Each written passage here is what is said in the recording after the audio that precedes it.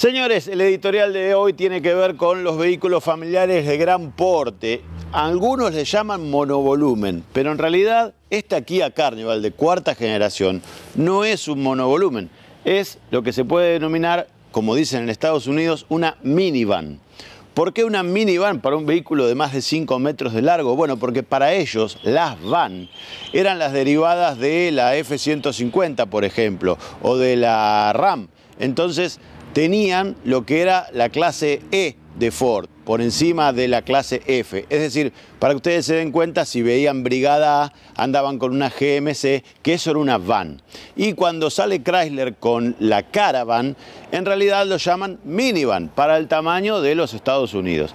Para nosotros, en Argentina, cuando llega Caravan, es un vehículo que, por supuesto, tiene un porte enorme, una majestuosidad en cuanto a tamaño y vinieron varias generaciones de Caravan o Town and Country o algunas Dodge también, pero desaparecieron. Y Kia supo mantener de alguna forma su producto en el mercado nacional. Esta es la cuarta generación de Carnival y por lo tanto, en este caso, vamos a tener un test en algunas semanas de este vehículo. Pero lo que queremos hablar un poco es de lo que significa hoy un producto familiar inaccesible, ¿no? Porque no es que hay que tener dinero. Uno puede tener dinero, es cierto.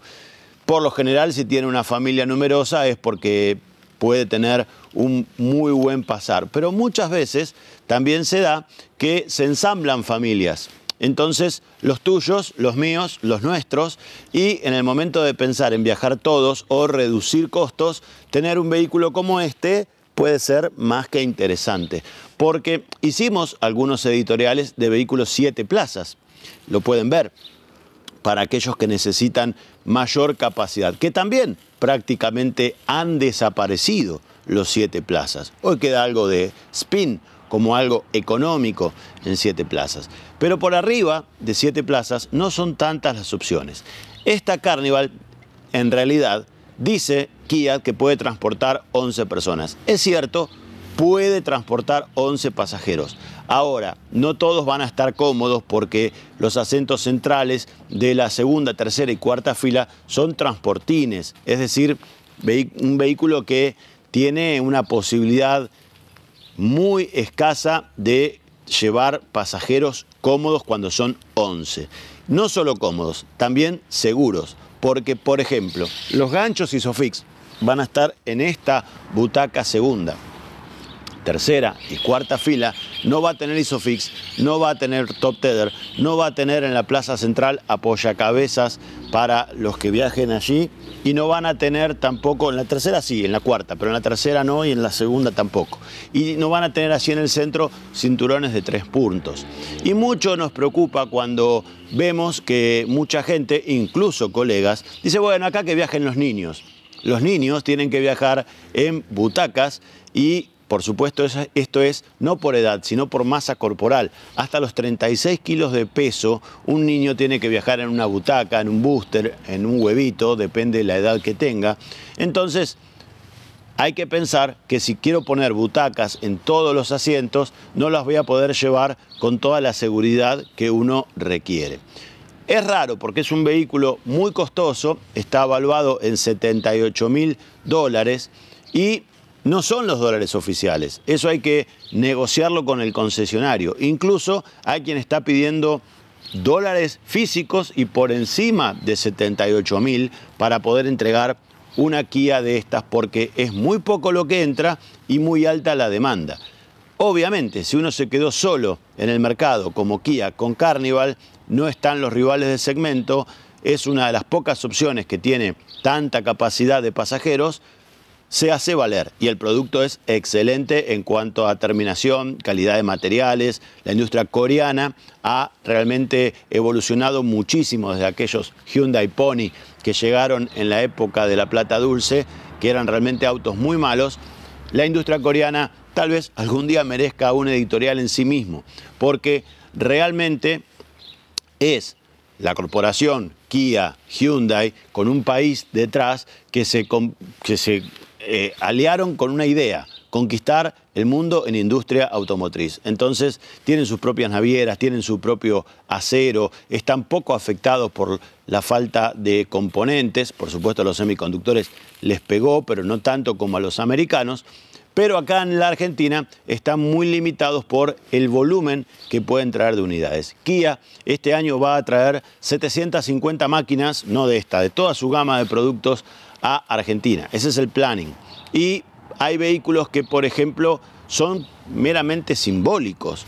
El Cerato, que hacíamos el test las semanas anteriores de lo que era el Centra y lo poníamos en el cuadro, Kia anunció que va a importar este año 42 unidades. Si usted lo divide por 12 meses y por la cantidad de concesionarios, es realmente muy poco lo que va a llegar a cada uno. Y lo mismo pasa, aunque el volumen es más grande, con esta nueva Kia Carnival. Entonces, se complica el panorama para aquellos que quieren tener un producto familiar. Se complica desde todos los puntos, desde que no hay opciones mucho más en el mercado, de que no todos tienen la posibilidad de transportar 11 pasajeros y también este vehículo, al ser de 11 plazas, gambetea el impuesto interno porque está considerado como un vehículo comercial. Entonces uno dice, ah, bueno, si no paga impuesto interno, la diferencia tiene que ser muy favorable para el consumidor porque, lógicamente, en este valor el impuesto es de más de un 100%.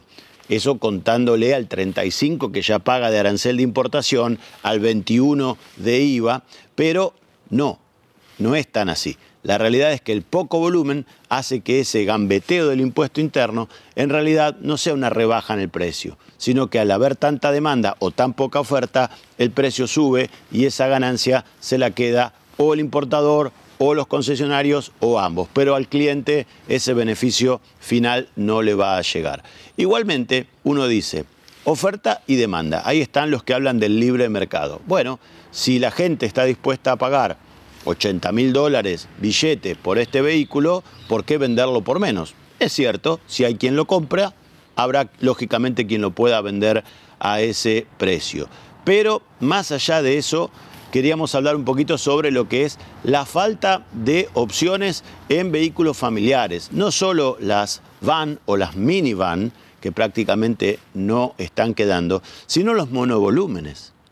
Pensar que antes una familia de clase media tenía dos, tres opciones en Argentina, como era un Cenic, un Sara Picasso y una Zafira, que tenía siete asientos, eran realmente cosas magníficas. No las evaluábamos como algo fuera de mercado, era algo normal. Es más, en otras partes del mundo, otras marcas, por ejemplo Ford, han tenido vehículos como el C-Max que se ofrecían para el segmento C. Acá Ford trajo la S-Max sobre plataforma de Mondeo y la vendió relativamente bien, aunque era un vehículo un tanto mal configurado, sobre todo en su primera generación, porque tenía el aspecto de un auto monovolumen, es decir, un monovolumen deportivo con un motor que no era el turbo. Entonces fue complicado. Pero más allá de todo esto, hoy realmente tener vehículos con opciones familiares se está complicando. Y por otro lado, este tipo de vehículos no lo podemos comparar directamente con lo que es un SUV, porque hay gente que dice, bueno, es rival directo o indirecto de una SW4, de una Trailblazer.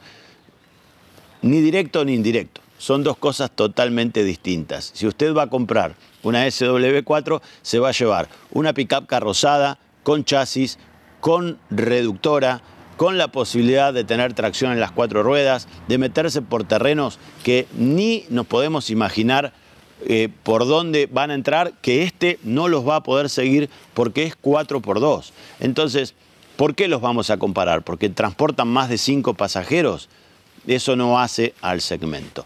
Pero, más allá de todo esto, la falta de oferta se siente en el mercado argentino y la falta de opciones para muchas personas que necesitan vehículos de este tipo, ya sea particular o empresa, porque esto también puede hacer la función de un vehículo de empresa para transportar gente, por ejemplo, de un hotel a un aeropuerto, cosas así, también podría ser interesante. Hoy se está complicando todavía más. ¿Por qué hacemos el test? Bueno, porque lógicamente es una novedad absoluta, totalmente nueva, cuarta generación, porque es un vehículo muy interesante para mostrar, pero sabemos va a llegar a un público muy, pero muy reducido. Y en unos días van a tener la posibilidad de conocerlo detalle por detalle al estilo de Auto al Día.